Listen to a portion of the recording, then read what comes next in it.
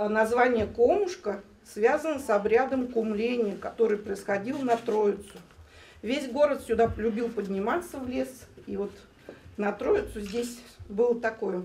А что это такое? Люди договаривались жить в мире э, на целый год. Старшее поколение помнит почти все праздники семейских, а вот подростки их практически не знают. Поэтому в школе номер 50 на Комушке, где, кстати, и начали строить свои дома первые семейские, провели круглый стол сохранения культуры забайкальских старообрядцев в образовательном пространстве. Здесь, на территории новой школы после капремонта 50 мы собрали все образовательные учреждения, которые работают по направлению сохранения культуры и традиций забайкальских семейских.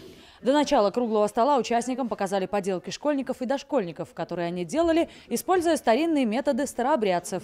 Учили их этому на уроках в обычных школах и детских садах. Или вот кукла, ангелочек, тоже простая в использовании. Видно, что ребенок сам делал. Так, вот такие куклы.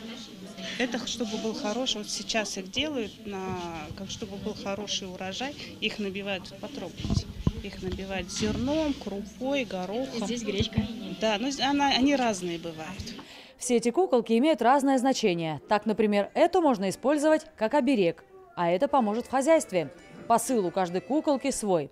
Вместе с воспитателями дети создавали и такие домики – это макеты деревень, в которых раньше жили старообрядцы. Я сам родом из Бичуры, семейской деревни, и все это мне знакомо. И здесь вдруг такие мальчики, девочки, все это уже делают своими руками. Очень нравится, что одежда, обычаи, все возрождается.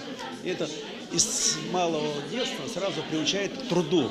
Такое возрождение традиции стало возможным благодаря работе Комитета по образованию. Теперь дети на уроках в школе и занятиях в садах смогут еще глубже погрузиться в быт народа, который исторически населял Бурятию и чья культура даже признана всемирным наследием ЮНЕСКО.